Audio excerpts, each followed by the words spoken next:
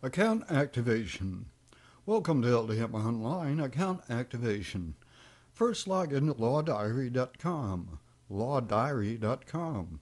In the upper right hand corner of the first display, you'll notice a button that says LDM Online Login. We're very conscious of your security, so the first time you log in, we'll be looking for the email associated with your account.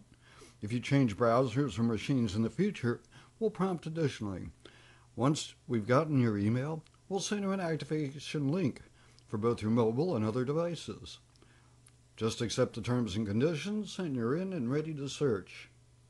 Just a quick example of some searching. LDM Online is targeted on the communities of law and government. Here we're going to look at Hunterdon County, a rural county in New Jersey. You'll notice that once we do our search, we receive a full list of categories of information associated with that particular county. In this instance, we're going to be looking for a municipality, and in particular, a joint municipality, something that's cropped up more and more in recent years to lower the cost of operations and improve service to the community.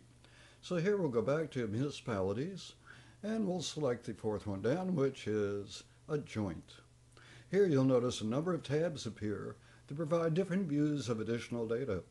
It should be also noted that all the contact information is hyperlinked to even greater detail as necessary. That's account activation. It's simple.